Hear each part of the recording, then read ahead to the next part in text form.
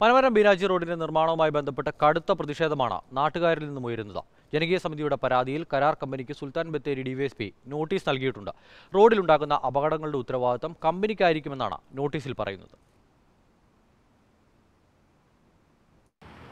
വയനാട്ടിലെ രണ്ട് പ്രധാന പട്ടണങ്ങൾ സുൽത്താൻ ബത്തേരിയെയും മാനന്തവാടിയെയും ബന്ധിപ്പിക്കുന്ന ഒരു പ്രധാന റോഡാണ് ഈ രണ്ടായിരത്തി പത്തൊൻപത് മുതൽ ഇത്രയും വലിയ തുക അനുവദിച്ചിട്ടും പണി പൂർത്തിയാകാതെ ഇങ്ങനെ നാട്ടുകാരെ ബുദ്ധിമുട്ടിലാക്കിക്കൊണ്ട് ഇപ്പോഴും തകർന്നു കിടക്കുന്നത്. ഈ റോഡുമായി ബന്ധപ്പെട്ട ജനകീയ സമിതിയുടെ സെക്രട്ടറി സ്റ്റാൻലിയാണ് നമ്മളോടൊപ്പം ഉള്ളത്. എന്താണ് ഇപ്പോഴും ഈ പത്തൊൻപതിൽ തുടങ്ങി ഇരുപതിൽ തീരേണ്ട ഒരു വർക്ക്? ഇങ്ങനെ അനന്തമായി നീണ്ടുപോകുന്നത് കരാർ കമ്പനിയുടെ മാത്രം പ്രശ്നമാണ്. എന്താ ശരിക്കും ഇപ്പോൾ ഇതിന്റെ ഒരു അവസ്ഥ? ഇത് രണ്ടായിരത്തി പത്തൊമ്പതിൽ തുടങ്ങി രണ്ടായിരത്തി ഇരുപത് ജൂണിൽ തീരേണ്ട പണിയാണ്. മോർത്തിന്റെ മാനദണ്ഡ പ്രകാരമാണ് ഇങ്ങനെയുള്ള വർക്കുകളെല്ലാം സാധാരണ കൊടുക്കാറുള്ളത് ഗവൺമെന്റ് അത് പ്രകാരം ചെയ്യേണ്ട യാതൊരു തരത്തിലുള്ള കാര്യങ്ങളും ഇവിടെ പാലിച്ചിട്ടില്ല. അങ്ങനെ ഒരു വർഷം ഈ കഴിഞ്ഞിട്ടും ഈ പണികളൊന്നും ചെയ്യാത്തതുകൊണ്ടാണ് ജനങ്ങൾ ഇതിനകത്ത് ഇടപെട്ടത്. നിലവിലുള്ള ഒരു തരത്തിലുള്ള അതായത് ഗവൺമെന്റുമായിട്ടുള്ള കരാർ വ്യവസ്ഥകളൊന്നും ഇവർ പാലിച്ചിട്ടില്ല.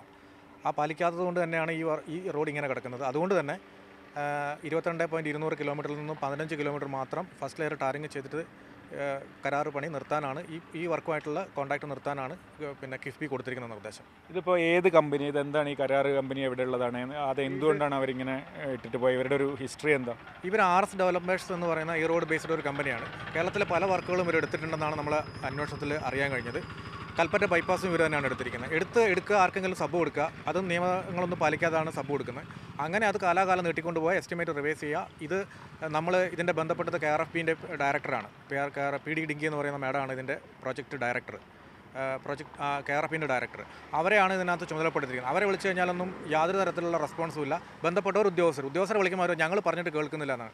ഗവൺമെന്റിന്റെ ഒരു വർക്ക് ഏറ്റെടുത്ത കരാറുകാർ അത് നടത്തേണ്ട ചുമതലയുള്ള ഉദ്യോഗസ്ഥർ കരാറുകാരോട് പറഞ്ഞാൽ ഞങ്ങളത് പറഞ്ഞാൽ അവർ കേൾക്കുന്നില്ല എന്ന വളരെ വൃത്തികെട്ട മറുപടിയാണ് അവരുടെ നിന്ന് കേൾക്കാനുള്ളത്. അതെന്തൊരു അതെന്ത് നീതിയാണെന്ന് നമുക്ക് മനസ്സിലാവും. അപ്പോൾ നിങ്ങൾ ഈ പോലീസിൽ പരാതി കൊടുക്കേണ്ട ഒരു സാഹചര്യം എന്താ ഉണ്ടായി മഴക്കാലത്തിന് മുന്നേ? ഡിവൈഎസ്പി ഒക്കെ ഇടപെട്ടു കാരണം എന്താ വെച്ചാൽ ഒരുപാട് മീറ്റിങ്ങുകൾ ഇവിടെ നടന്നിട്ടുണ്ട്. എം എൽ എയുടെ നേതൃത്വത്തിൽ ഉദ്യോഗസ്ഥരുടെ നേതൃത്വത്തിൽ ജനങ്ങളുടെ നേതൃത്വത്തിലൊക്കെ ഒരുപാട് മീറ്റിങ്ങുകൾ നടന്നു. ആ മീറ്റിങ്ങിൽ പറഞ്ഞ ഒരു കാര്യങ്ങളും ഇതുവരെ അത് പറഞ്ഞിട്ടില്ല.